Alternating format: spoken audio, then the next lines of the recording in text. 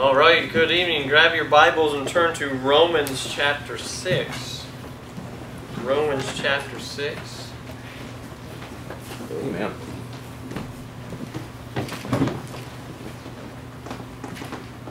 It is good to be back here, and uh, any excuse, if I have to deal with Pastor Price to be in South Florida, I'll do it. So, this is the place to be in February, March, right? And uh, so, we've been down in South Florida for a few weeks here. We've been, uh, just, there we go, been uh, all the way down to see Pastor Wheelander in Marathon last week. And, and uh, we'll be going up to Fort Myers this weekend. Amen. And then from there, we are leaving Florida, going back to Georgia, and then our home state of South Carolina. And uh, so, some of you I've not met before. I want to give you uh, introduction of our ministry. For those of you that know about us, just smile and nod and act like you've never heard it before. Uh, but we uh, go all over the country.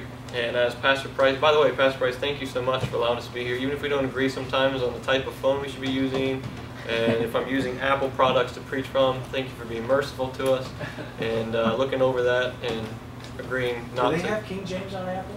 I'm looking for. I'm still looking for. Probably don't do that. I bet it doesn't work on I think I found one right here. Um, that's why I still bring my Bible up here. So. Um, anyway, so but thank you, thank you. We, we had a good time at Firehouse Celebrate across the street. And, uh, I yeah, I kind of I'm trying to figure out how long ago it was too. I think it was probably six It's probably years, more than at least six seven years ago. But uh, but anyway, so it is good uh, to be back. Thank you so much for your hospitality, allowing us to be here. And uh, so, what was I saying? Okay, yeah, about our ministry.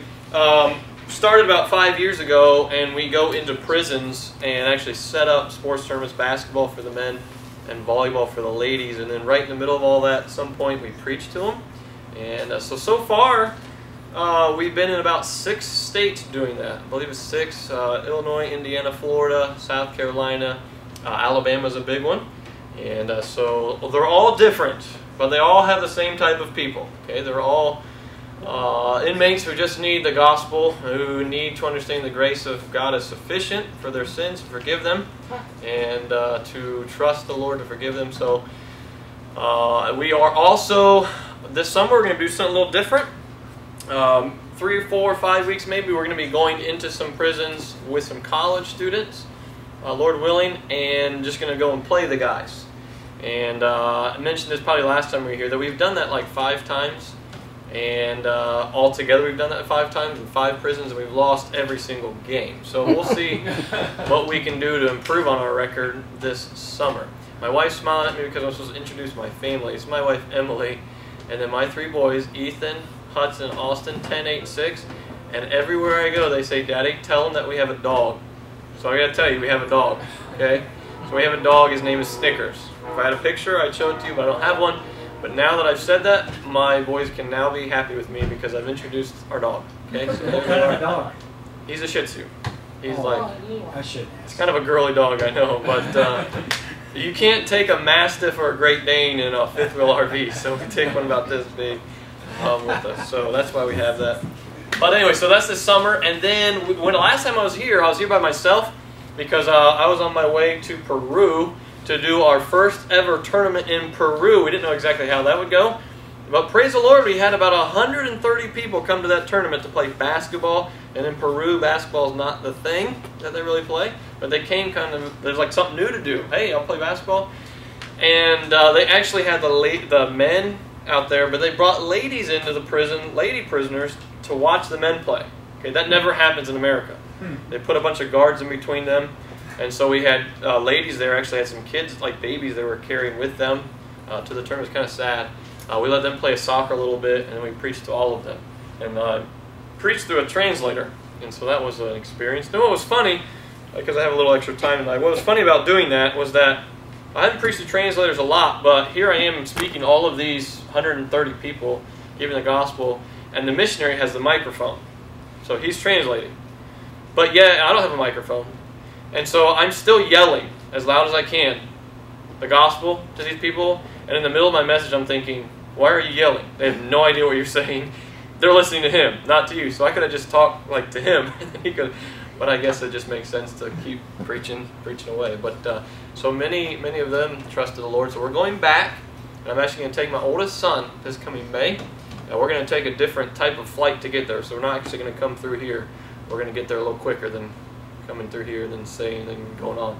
So my 10 year old is going to go with me. We're going to do uh, a tournament where we did last time but also somebody has connections in Lima, the capital, and they're gonna. He's trying to get us into two or three prisons in Lima uh, to do tournaments there. So it looks like Peru is opening uh, to us. So uh, we're excited. I love Spanish-speaking people, and I love being down there. In fact, when I came back from Peru this last time, thanks for picking me up in the middle of the night, by the way.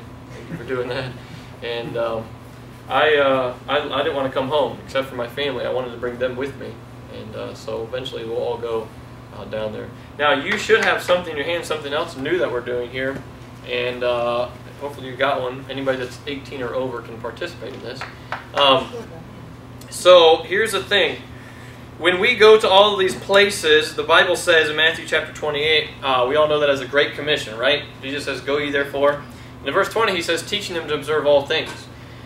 And so, as a ministry, we want to do our part to continue teaching these uh, inmates more of the Word of God. And uh, as we get into all these locations that we get into, it's difficult for us to continue keeping in contact with the inmates because of certain rules, regulations with each state. I know for sure that in Illinois, I cannot go and meet 20 inmates as a normal volunteer and then go home and write all of them. I can't do that. It's illegal. Okay. Um, perhaps as a ministry we could do that, but like and sign our letters inside the lines. But I don't want to even cross that, you know, to get into that. So it's a little difficult. Now, what we do love is if the churches where we go, what we do is we get churches, local churches involved in coming in with us. We love if they would actually start a permanent Bible study. Now, in Miami, uh, church down there, First Baptist Church of Westwood Lake, they actually started a Bible study in the prison near them because we were able to take them in with us and then connect them. Uh, it took a while to get in there. It takes a while, a lot of paperwork. So it's happened in Miami. It's also happened one time in Illinois in a ladies' prison. Uh, ladies from the church go in there every Friday night now and do RU, if you're familiar with RU at all. And uh, they do RU every Friday night. So great stuff because it's connecting the church to the prison, but it's really difficult to do that. So we were praying for a while, trying to figure. We have a correspondence course where they can actually do um, kind of like schooling. Okay, they can do a, a, lesson, they can send it in to us, and then we send a next lesson back. But we wanted something a little more personal, uh, personable, and and uh, so we started this probably a month ago. It hasn't been very long, and uh, we had to get the approval of a couple state chaplains to make sure that this was legitimate and that we weren't going to get in trouble for this. And so here's how it works: you, the church members, are actually allowed to write them. I'm not, but you can. Okay, so here's how it's set up. You would just go to our website, itlassist.org. Okay, and uh, you simply go to the sign up page. You can sign up. Just need a little information from you, and then you can start to communicate with an inmate by way of email. Now that sounds a little scary at first. Okay. But this process, we don't use your personal email. The inmate never sees who you are. We actually use fake names for you. So you know, Ryan Price, you turn into Bill Jones. Okay, we just give you random names. So what you do once you adopt an inmate name, and my mother-in-law is running this whole thing. Okay, we're paying her zero dollars an hour to do this, but she's so she's kind of retired, helping us, and uh, so she keeps all the records of all this. You just she'll give you an inmate to adopt. You write your letter to that inmate by way of email. She prints out your letter, puts in an envelope, places a stamp on it, sends it off to the prison. When that inmate sends you a letter back, she types the whole thing out into your email, sends it to you. So it's almost like you're emailing an inmate, but it's actually coming through letter form. Does that make sense? And uh, so everything is coming through our home system. Okay, it's coming through our post office box, coming through our email. So you are basically, we need you to help us continue helping these inmates. Now, the long-term process, the long-term goal is that we were talking about this at supper dinner tonight is that we want to take Bible studies. I'm actually working on one right now, and there's plenty of other good ones out there. Use those Bible studies where you can study along with the inmate. So it's making that correspondence course, it's making it more personal. Does that make sense? So it's not just a study I'm doing and nobody's associated with. You're going through it with inmates, so you can ask them, hey, what did you learn from lesson three? Okay, and you write that out, and you could help them grow. So we we haven't got many letters back yet, just because we're fairly new. But we did have one guy send a letter in to the missionary in Peru. He actually adopted somebody. So here's a guy in Peru adopted somebody from the United States, and he's writing to him from Peru by way of email.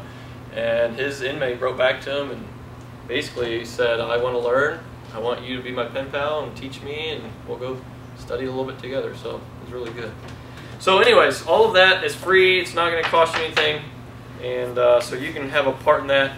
If you're a little worried as about what to write for your first time, if you just go on our website, there's an actual page that says what to write. Okay, you don't have to be word for word on what we tell you to write, but it tells you not to put this stuff in, not to write this, what to write, if you're a little nervous. Now, if you're a little nervous as to what am I going to say down the road when they start asking for me for money, okay, well, our secretary will see all of that. So, secretary, she reads everything, she's typing everything out, okay, so you don't have to worry about us not seeing stuff and does that make sense so far? Any questions on that? Okay, that, that program. It's actually, I'll be honest with you. Um, if I could, if I had to get rid of everything and do one thing in our ministry, it would be this.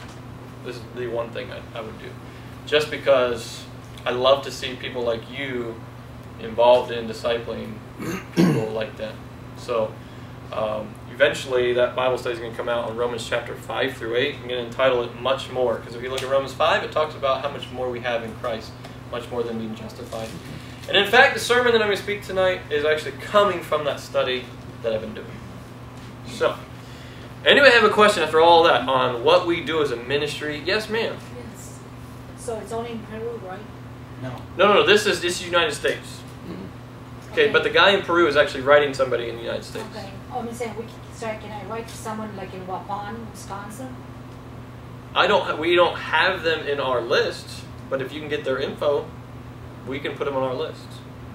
We all the people that we have on our list are the people that we saw at our tournament that said that they would like something to write to. I didn't mention that. I've never worked in a prin- prison ministry. I've worked in several jail ministries, and Okay. one of the blessings there, I just wanted to uh, amplify what you said. They all know they're sinners, Yep. and they're all usually flat on their back with no place to look but up. Yep. Yep. And to go along with that, we've actually uh, I've talked to a correctional officer that's Christian, and uh, one of the churches that we go to, he says that when he comes into work, they don't ask him how he's doing, how his life's going. First thing they ask him is, "Do I have mail?" That's all they want. Do I have mail? Give me my mail. Some of them will actually order newspapers just so they can look like they're getting mail. They could read the newspaper. So that's how much they really want mail. So, and in fact, the letters that I've seen come in already, they're very long. They're long. And so that tells me that they just are trying to find somebody that they can connect with. So, mm-hmm. anything else? Any questions about our ministry in general? We do a couple more states that might be opening up to us are Ohio and we did just did some in Indiana this past fall. We actually did our first, ma- uh, well, maybe our second maximum security, and that was in. Supposedly, I heard a rumor that's where they kept Al Capone. You know Al Capone? Yes. Okay, Stateville, Illinois. Uh, all it was was a big wall around the prison. You couldn't see in and couldn't see out. So we went in there. Um, I was a little nervous, but they give us all the 45 and older guys. That's all they let us have. So I was like, ah, they're not going to do anything. It's 45 and older. So, any questions? And then we'll get into the message. Oh, that was supposed to offend a few in here. If you're over 45, there you go. Got a few of them. All right. All right. Romans chapter six. If you don't have any more questions, we are going to read verses one through six, chapter six. All right, like I mentioned, this is from my study of trying to prepare something for these men and ladies on Romans 5 through 8. Verse 1 says, What shall we say then? Shall we continue in sin that grace may abound? God forbid. How shall we that are dead to sin live any longer therein? Know ye not that so many of us as were baptized into Jesus Christ were baptized into his death?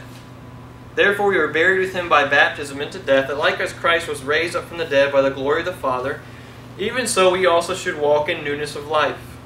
For if we have been planted together in the likeness of his death, we shall be also in the likeness of his resurrection. Knowing this, that our old man is crucified with him, that the body of sin might be destroyed, that henceforth we should not serve sin. Let's pray. Father, thank you so much for allowing us to be here tonight. Thank you for the power of your word that we can look at it tonight. And as Pastor Price already prayed, I do pray you convict us where uh, that is necessary. Would you encourage us? Remind us of your glorious truth from here in chapter 6.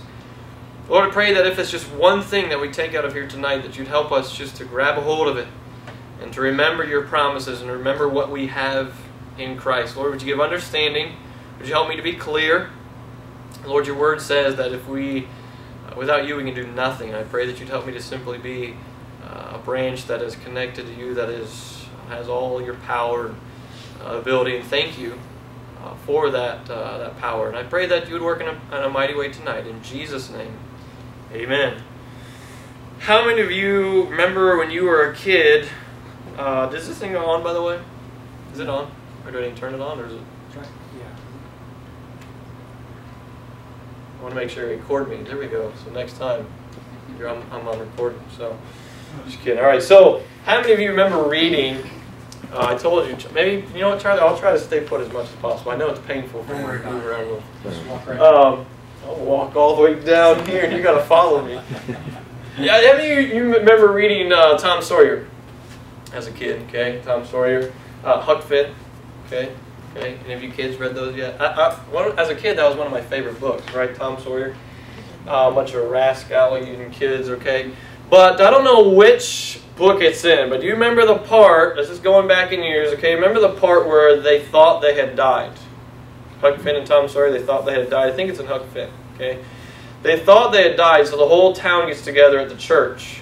Okay, and they're having their funeral while Tom and Huck are up in like the balcony or in the top part of the church, listening to all the eulogies at their funeral. Now, it's a really funny part because now all the people that were so annoyed and perturbed at Tom and Huck during their life are now spouting all these wonderful blessings and how great of a kid they were, and everybody's crying.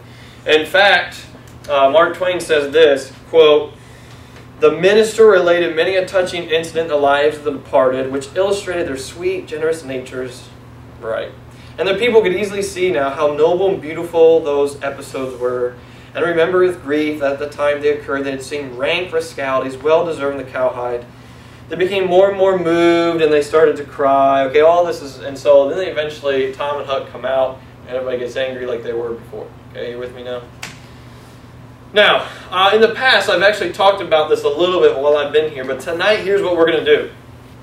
We're going to kind of look down, if you want to put it that way. We're going to be invited to our own funeral. Okay, we're going to see how we have died, not physically necessarily yet, okay, but how we have died, our old man, how we've died in Christ. Okay? There was one time there was a couple men, uh, their names were Pat and Mike, and they had found a turtle uh, with its with its head cut off that was still moving around. Kind of like a chicken. I didn't know turtles could do that. Sorry, kids, didn't tell you about this, but uh, so the turtle was actually still moving. So Pat and Mike were arguing about whether or not the turtle was dead. I mean, what would you say? So they keep arguing about it. And then finally comes O'Brien. O'Brien comes along and they say, All right, O'Brien, tell us if this turtle is dead or alive. And here's what O'Brien says He says, Oh, it's dead, but it don't believe it. That's a good way of putting it. I like that. Here's the thing. Let's come back to the truth that all of us are dead and we need to believe it. You're probably wondering, what in the world are you talking about? I feel very alive right now. Don't tell me I'm dead because I'm sitting here, my heart's beating. We're talking about spiritually. Okay, dead. Let's talk about it, okay? First of all, number one, we're going to look at the proclamation of our death. Look with me, verse 1. What shall we say then? Shall we continue in sin that grace may abound? God forbid. How shall we that are dead to sin live any longer therein? Now, if you're doing any study on Romans chapter 5, Paul is telling the Romans, hey, listen, we've been justified by faith. Okay, we don't have to do anything to be saved. It's all in, in God's working and, and saving us. Justification is by faith. And so he's expecting the Romans to say, oh, well, in that case, we're just going to keep doing what we've been doing then, right? We're just going to keep living our normal life. And he says, whoa, whoa, whoa, whoa, wait a minute. I know you're going to think that. Verse 2 says, God forbid. How shall we that are dead to sin live any longer therein? He says, wait a minute. We haven't been justified so that we can just keep on going and doing what we've been doing. We've been justified so that we know that we're dead to sin. We don't have to live any longer in sin anymore. We don't have to live the same way we did before we were saved. Okay, with no hope and entangled in the bondage of sin. And that proclamation, God forbid, is a strong word. Okay? God forbid. No, no, no. Don't think this way. So that's a proclamation of our death. Not going to spend a lot of time on that. Number two, we're going to at the pictures of our death. Look at verse 3. He says this Know ye not that so many of us, as were baptized into Jesus Christ, were baptized into his death? Therefore, we are buried with him by baptism into death, that like as Christ was raised up from the dead by the glory of the Father, even so we also should walk in newness of life. For if we have been planted together in the likeness of his death, we shall be also in the likeness of his resurrection. Now, please understand that when it comes to Romans chapter 6, Pastor Price could probably tell you this, that it is hard to be a expert on Romans 6, Romans Okay, there's a lot of thick, hard things in here. Okay, I'm going to try my best to do what I can. Maybe you can fill me in afterwards, okay? But uh, in this, okay, we know the proclamation of our death, no, we have been, we're dead. Here's the pictures, okay? Baptism, Paul says this, we've been buried with him by baptism into death that like as Christ was raised up from the dead, even so we also should walk in newness of life. So the reason that when we get baptized, we are showing everybody that we have been buried with him and now we're, we're raised to walk in newness of life. Everything is new. Therefore, if we're in Christ, we're new creatures. Old things pass away, behold, all things are become new. So here's what I'm trying to get at to you right away here. We cannot live in a hopeless condition to sin because we don't realize how much has changed because we're in Christ. We've been buried with Him and we're raised to walk in newness of life.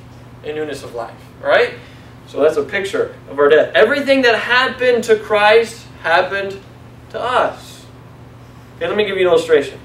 Okay, there's a guy by the name of Watchman Nee that has given me a lot of illustrations on this, right? So, so a Chinese preacher. So if I take this Bible, okay, this paper and this Bible have two different characteristics, right? I mean, they're both kind of made of paper, but the Bible is a book, paper is paper. Okay, here it is.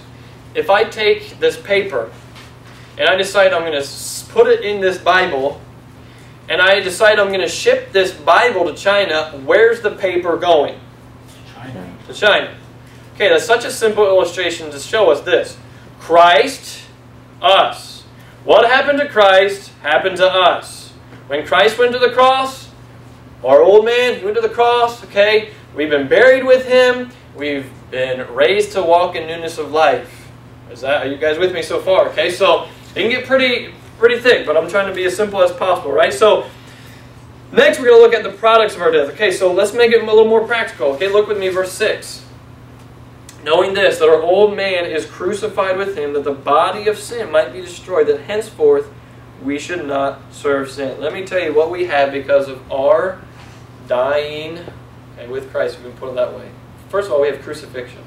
Verse 6 says this Our old man is crucified with him. This is where you can kind of get in some struggles here if you're trying to figure out, okay, what's the difference between old man and the body of sin? Okay, let me give you the best I can. Someone says this The old man is that self that's patterned after Adam, the part of us that's deeply ingrained with the desire to rebel against God. I think it's a really good way of looking at it. But here's what I want us to get. It says the old man has been crucified with him, Christ. Who you were, the self pattern after Adam, the part of us ingrained with the desire to rebel against God, has been crucified. And we were talking about Greek at supper tonight, okay? For the Greek scholars in here, it's a passive word, meaning this that you did not do this to yourself. If you can imagine with me someone that's being crucified, they cannot crucify themselves. I mean, that's not possible. Maybe they can get the nails in their feet. Maybe they can get the nail in one hand. But there's no way they can get the nail in the other hand. Are you with me? So it's a something being done to us. Now, it was done to us when Christ was crucified. Our old man was crucified. Are you with me? It wasn't us that did it. Okay, we cannot pull ourselves up by our bootstraps and say, well, I got to make sure that I'm crucified today. Now, Bible says it does say crucify your flesh with the affections and lust. That means understanding the position I'm already in right now, that I've been crucified with Him. Now, because of that, I know that I don't have to do what my flesh wants me to do. Okay, so it's a little. I told you it's a little deep sometimes. The Bible says it's the same word when He says, "I am crucified with Christ." It's a famous verse. I am crucified with Christ. In Matthew chapter 27, it also says the thieves were crucified with Jesus. Same word. So you get the picture? I am crucified with Christ. The thieves were crucified. So in other words, when Christ was crucified, I was crucified. Okay, if you put those words together, all right? So it was something done to us. It's also in the past. Here's the thing. I know because I've seen myself on video, okay? I know I preached this a few years ago. That many people have this idea that if I could just be like Pastor Price in his spirituality, then I won't I wouldn't sin anymore with the sin of anger. I wouldn't lust anymore. I wouldn't have this problem with worry or bitterness. I wouldn't have this if I could just be like Mrs. Price and I could attain unto that spirituality. Okay? Now, it may not be that obvious, okay, but many people they live like that, like they were they're gonna they're gonna get somewhere one day. Okay? Here's the thing. When it says that our old man is crucified with him, that was in the past. Now, you guys came together today, right? Pastor Price, you guys I saw you guys in the truck together. So you guys arrived here sometime in the last hour. Let's say an hour ago, it looks like about an hour ago. Okay, so you arrived an hour ago. Can, is it all right? Can I say this? Pastor Ryan, you came with your wife, right? And, and you came with your husband. Does it matter how I say that? No, because you came with each other sometime in the past. Now, again, I didn't make this illustration up, but it's going to sound it's going to sound kind of odd at first. And but think about it some. Okay, so when let's just put it this way: when Christ was crucified, I was crucified. Right? Old man is crucified with him. But can't you say it the other way now? When I was crucified, Christ was crucified. At first, you're like, "Whoa, you can't say that." But in, the fact is, it's you came, you did it together. It's together. So the problem is that many times we don't believe that. Okay, it says knowing this. First of all, we have to know this that my old man has been crucified with him. Right?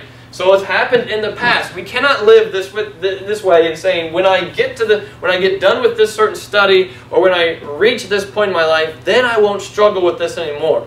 Okay? The fact is, your old man's been crucified when Jesus was.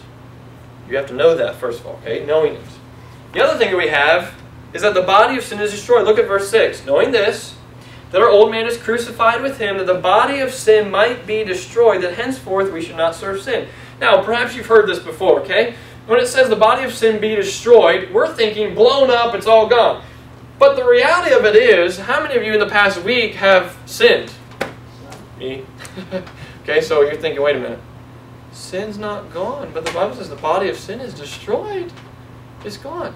Here's the here's the word destroyed means this to be rendered useless or powerless. Let me give an illustration. So you have a car sitting out there in the parking lot. If I want to be tricky to you, I'm going to go out there and I'm going to un unhook your battery cables. Don't you realize that your battery never dies at a good time? Do you ever get your car to die, batteries die, and you go, man, this is a great time for that to happen? It's never a good time for it to happen. So you go out there and your car doesn't crank. Do you open the hood, see the batteries unhooked, and go, well, I guess it's about time to take this thing to the junkyard. It's time to last. No, you hook the battery cables back up. Until those cables are not hooked up, you're not going anywhere. The whole car has power, but without the cables, it's not going anywhere. Okay, that's the picture here. So the body of sin has been destroyed, meaning this, rendered powerless. So until you hook those cables back up, sin has no power.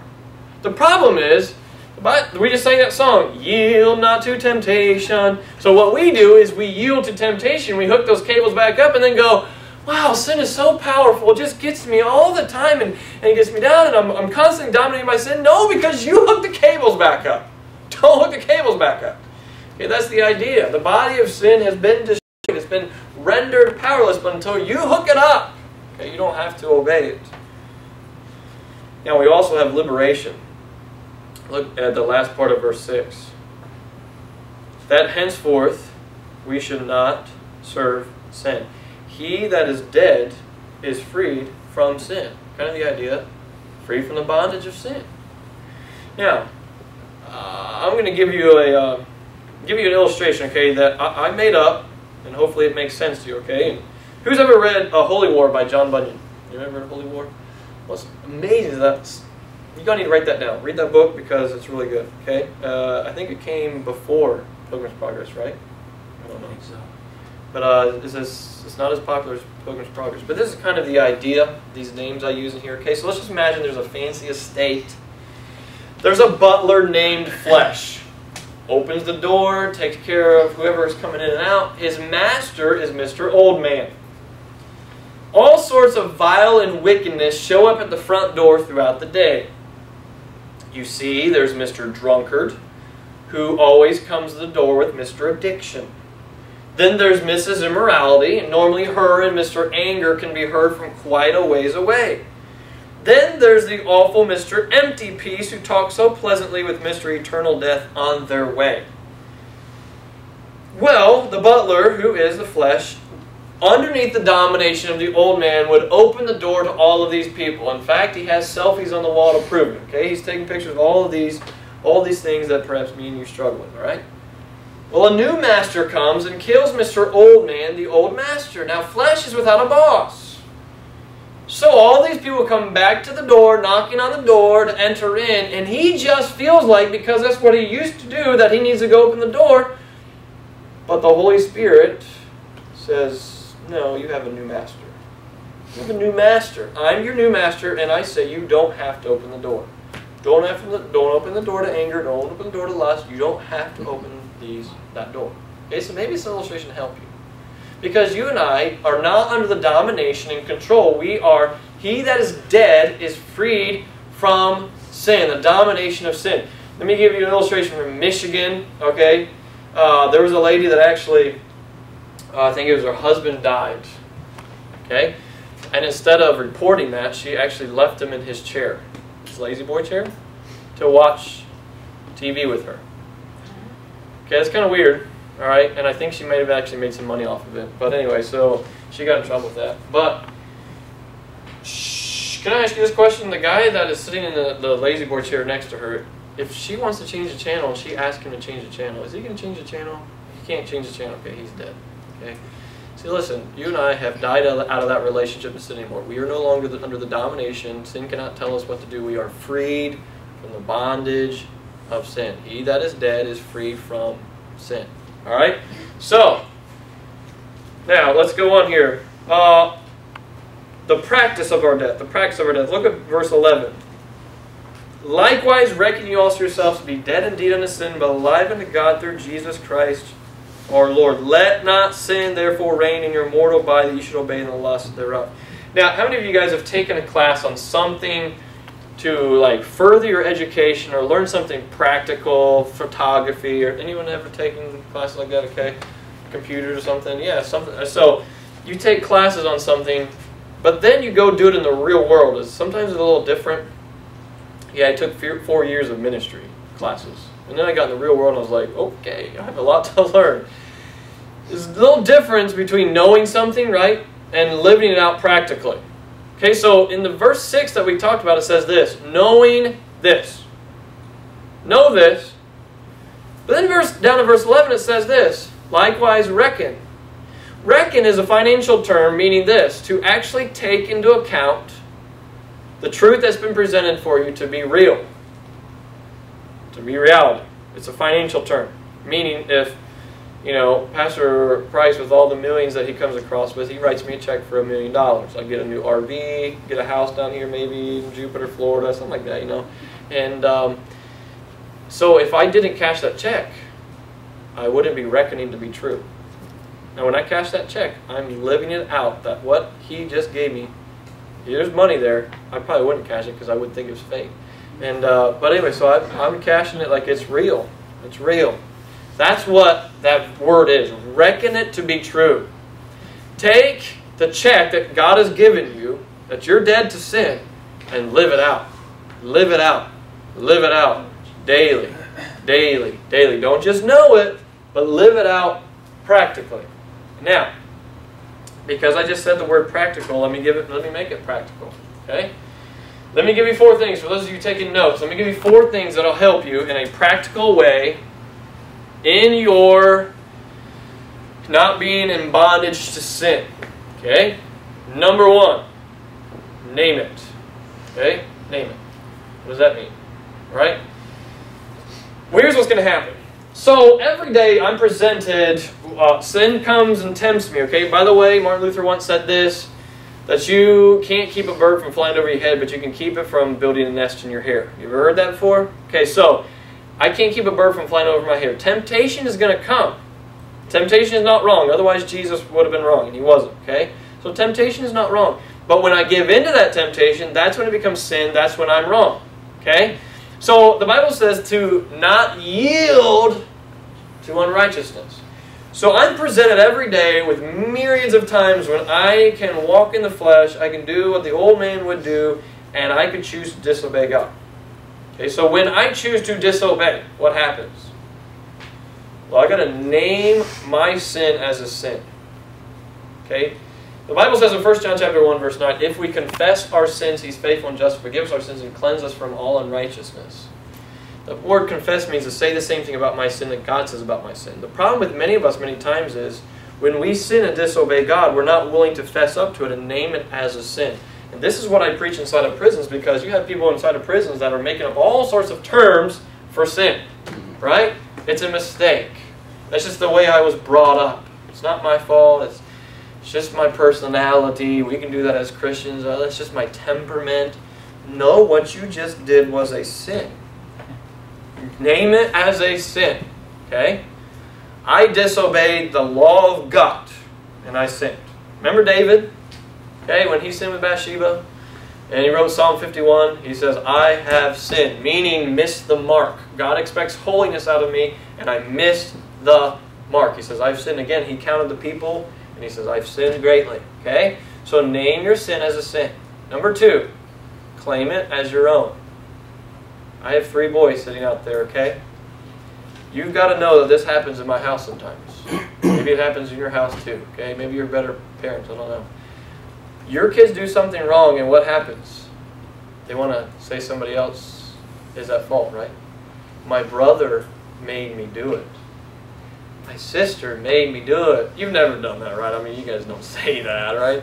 Well, we can do that as Christians. Well, like I said, well, personality made me, my surroundings made me do it. I was pushed into that situation. That's just where I came. No, it's your fault. It is your fault. You chose at this very moment, you chose to disobey God. You chose to not take God's grace as sufficient at that very moment, and you disobeyed. All right? So name it as a sin, claim it. Again, remember what David said? I mean, if you read the Psalm 51, how many times does he say me, me, mine, mine, I, I, all the time? Okay? Cleanse me from my sin. Cleanse me. So you name it, you claim it. And number two, you for, number three, you forsake it. What do I mean by that? Okay?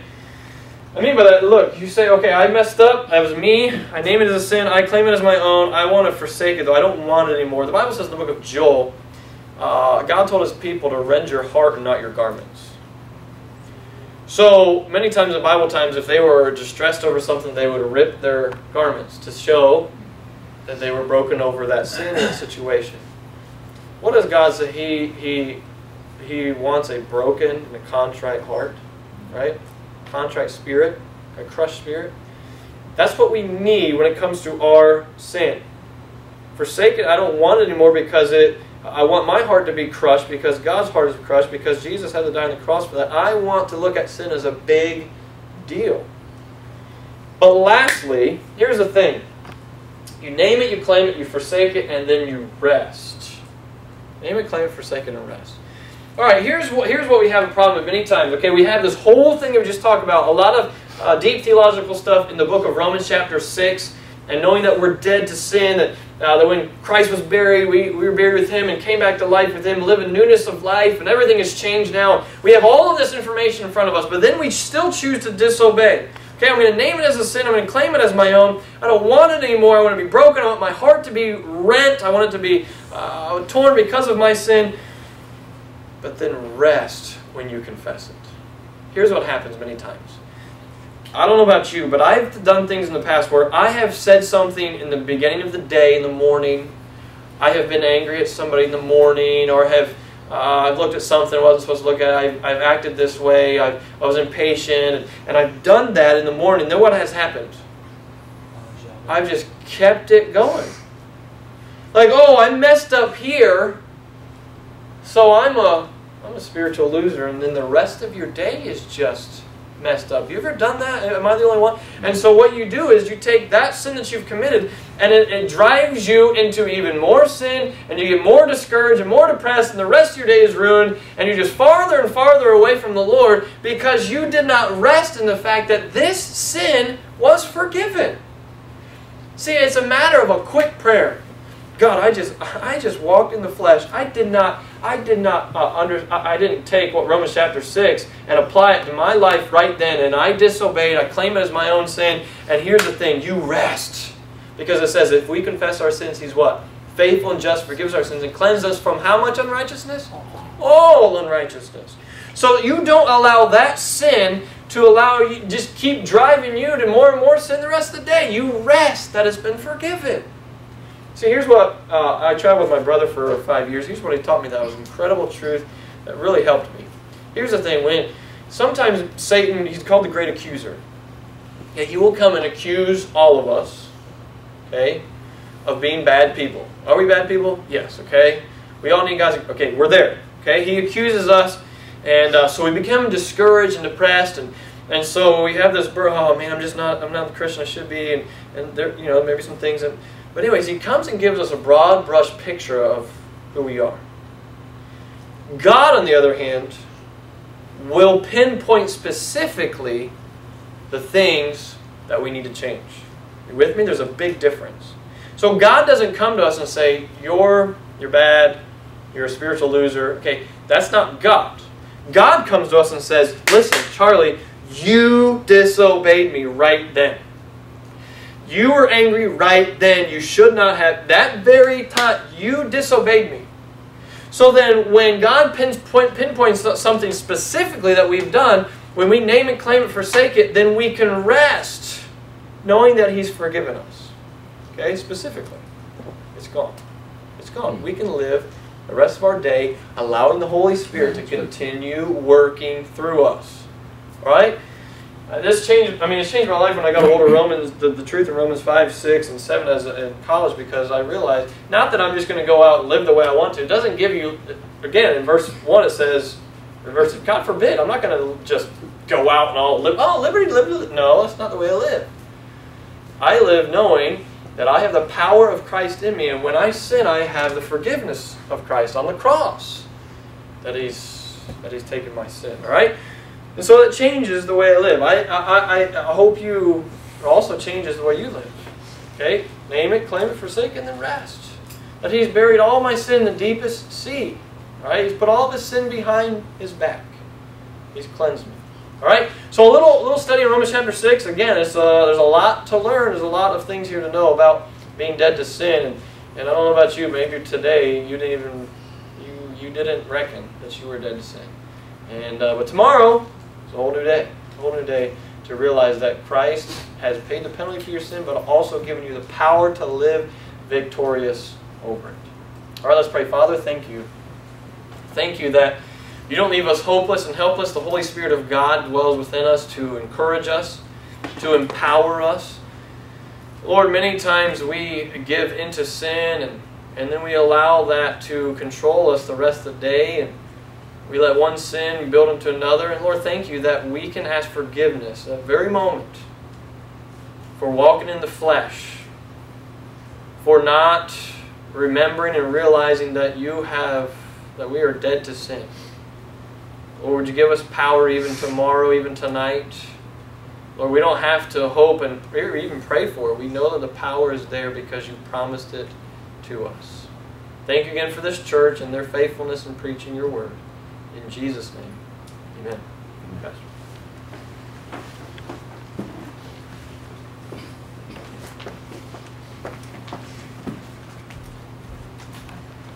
Well, that's a message that everyone in the world needs, isn't it?